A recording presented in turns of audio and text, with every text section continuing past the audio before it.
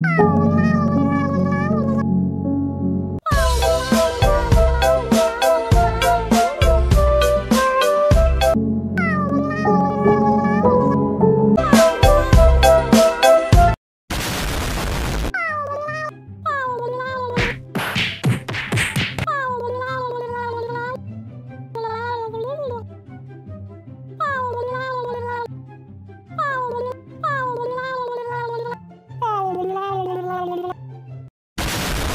Wait a minute,